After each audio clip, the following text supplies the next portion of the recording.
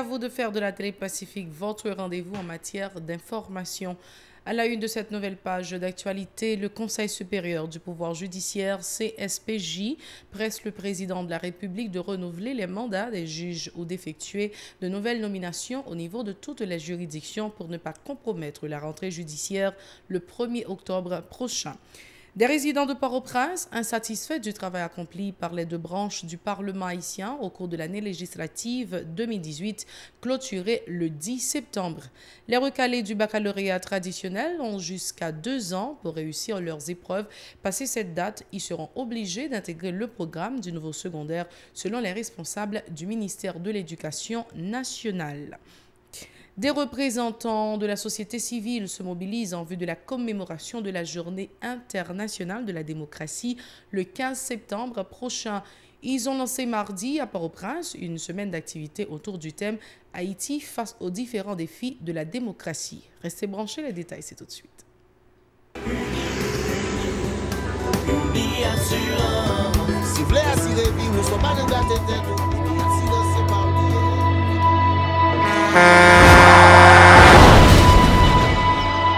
An jeneral, moun pa reme pran assurans. Yo konsidere ke son l'ajan yo jete. E poutan, l'ajan assurans te dwe nan budget ou akote l'ajan kay ak l'ajan manje. Li la pou li do traves son mouve pa. Gade tout akote ou. Wawe kouman gro problem kon antre sou moun sans atan. Mande Dje padon, sa ka rive ou tou. Une assurance dit ou, précaution pas capon. Les mal arrivés, les faux amis flair saison, a fait comme si on pas de jambe connaît ou. Une assurance après ta fait au pour le jour, continuer vivre la vie ou, quitter ce course là dans nous. Une assurance. Vivez en toute assurance. Bienvenue à vous au développement de ce journal.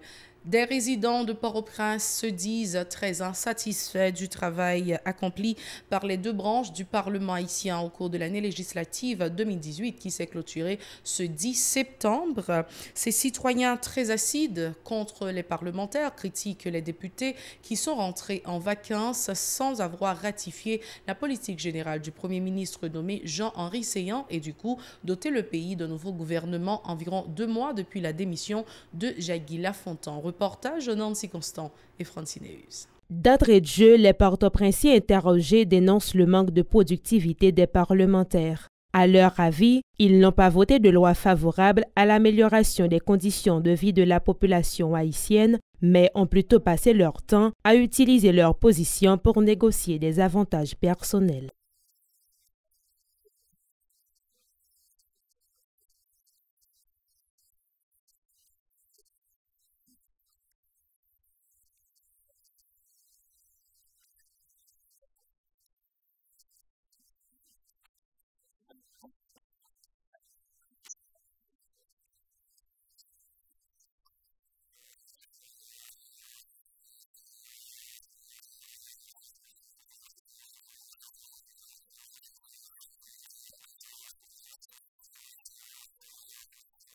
Les propositions formulées par la commission spéciale de la Chambre des députés sur l'amendement de la Constitution de 1987, présidée par le député Jerry Tardieu, sont au nombre des maigres réalisations soulignées par quelques citoyens. Des travaux qui laissent toutefois de nombreux autres indifférents. Pour ces derniers, il ne suffit pas d'amender la loi mère, il faut aussi s'assurer de respecter et d'appliquer ses prescrits.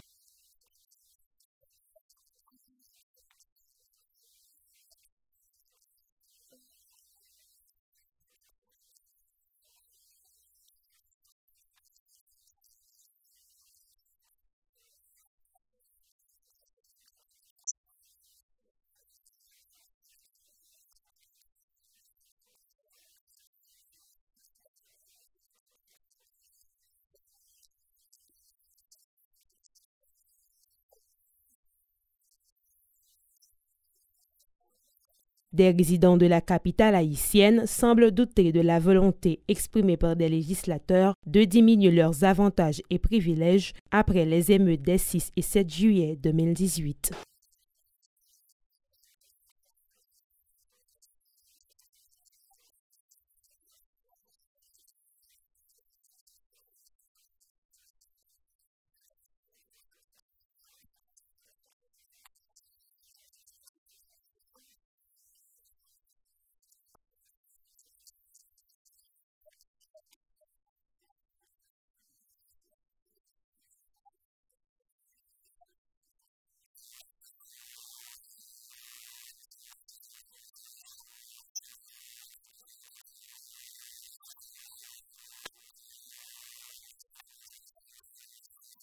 Contrairement à la tradition, aucun bilan de travail n'a été dressé par les bureaux d'aide de branche du Parlement lors de la séance en Assemblée nationale du 10 septembre clôturant l'année législative 2018. Bilan trop maigre ou faute de temps, aucune explication de la part des sénateurs ni des députés qui ont profité de cette dernière journée de travail pour se rattraper en votant à la hâte quelques projets de loi. Le député de Mirbalais, Abel Descollines, déclare inadmissible le fait que la majorité des ministres et secrétaires d'État nommés soient en contravention avec le fisc. Selon l'élu du parti haïtien tête PHTK, le Parlement devrait sanctionner les ministres incriminés. Abel Descollines au micro d'Edlène Vernal et David Mercius. Quand nous parlons de bandits légaux, malheureusement, au niveau de la classe politique, il y a des bandits légaux. Au niveau des pouvoirs constitués, il y a des bandits légaux puisque ces ministres, pour la plupart, ont choisi par des partis politiques qui pas rassuré que moun ça respecté les critères constitutionnels. Mais comme c'est un pays, c'est bandit légal qui a dirigé, donc il suffit tout simplement que yo fait choix de semblable peu importe yo qu'on ait pas respecté les critères constitutionnels, peu importe yo qu'on ait pas acquitté de redevances fiscales mais comme son pays, yo pas respecter la loi, donc yo choisi n'importe qui pour venir ministre, pour venir diriger le sommet de l'État. Mais l'autre constat que nous faisons, dans le cadre de mise en place un gouvernement pour diriger le pays, ça, nous constatons qu'il y a encore un guide suprême. Pendant que nous avons au Palais national un président qui répond au nom de Jovenel Moïse, qui, selon la Constitution, a dû assurer le bon marche institution, mais quelque part dans les hauteurs de Pétionville, il y a un guide suprême. Et c'est ce guide suprême qui a choisi ministre alors que le président s'appelle Jovenel Moïse. Ce qui fait journée jeudi un véritable imboglio ou gagner un gouvernement, gouvernement pas capable de présenter devant le Parlement puisque moun tellement suspect, yo tellement pas respecté les critères constitutionnels. Donc nous n'avons véritable du temps. Le Conseil supérieur du pouvoir judiciaire, CSPJ, presse le président de la République de renouveler les mandats des juges ou d'effectuer de nouvelles nominations au niveau de toutes les juridictions pour ne pas compromettre la rentrée judiciaire le 1er octobre prochain. Selon le président du CSPJ, Maître Jules Cantave, il y a péril en la demeure en raison des graves conséquences du retard mis dans la nomination ou le renouvellement des mandats des juges dans toutes les juridictions à partir des tribunaux de paix jusqu'à la Cour de cassation. Cette situation qui prévaut dans le système depuis deux ans a rendu inopérants les tribunaux et les cours de justice du pays, déplore Maître Cantave dans une correspondance adressée au président de la République le 6 septembre dernier. Haïti face aux divers défis de la démocratie, c'est sous ce thème que la firme de consultation en politique institutionnelle Politicotech, en partenariat avec l'université Kiskeya, entend marquer la journée internationale de la démocratie ce 15 septembre.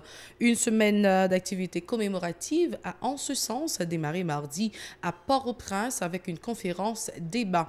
L'occasion pour le DG de Politicotech, Rudy Stanley Penn, d'insister sur l'obligation pour Haïti d'analyser les différents éléments qui bloquent sa progression sur le chemin de la démocratie. Rudy Stanley Penn.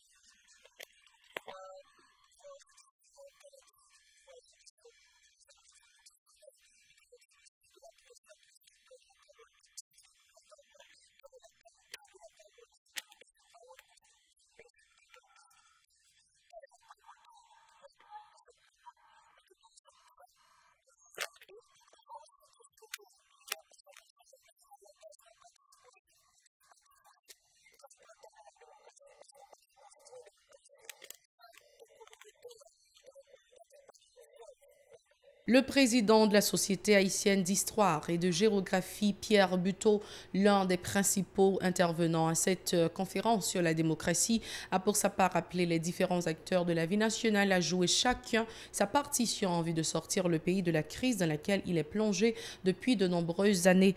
Une étape euh, indispensable pour permettre à Haïti de s'engager réellement sur la route de la démocratie. Pierre Buteau, micro de Mario Sylvain et de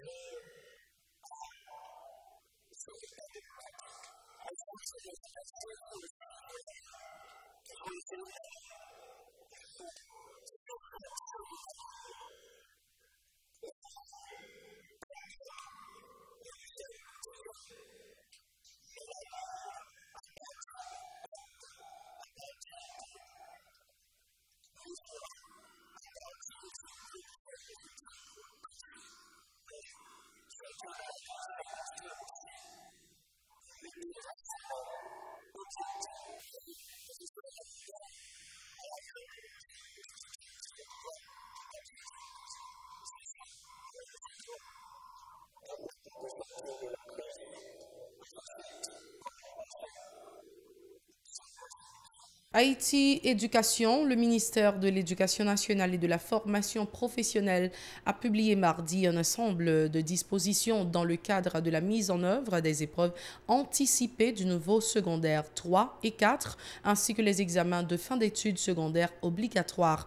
Le directeur de l'enseignement secondaire, Maxime Mésilas, les élèves des établissements impliqués dans ce programme seront évalués dans plusieurs disciplines, dont les sciences de la vie et de la terre, les mathématiques et la physique.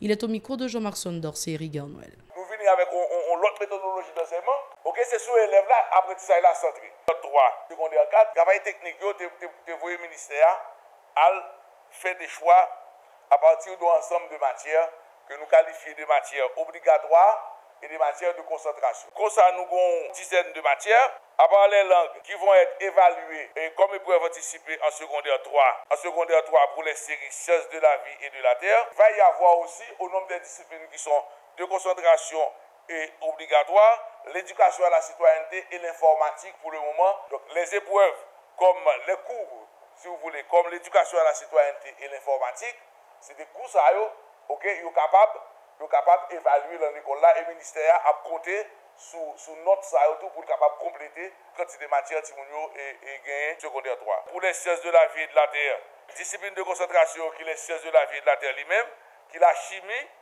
ok, la fizik, Ensuite, des, des, disciplines obligatoires comme les mathématiques, l'histoire et la géographie, et l'éducation à la citoyenneté, l'informatique, l'anglais, français et littérature, espanyol, kreol. Si bin yo te yo nom de, de 14, yo vin redwi a 10, e yap redwi an sekondèr.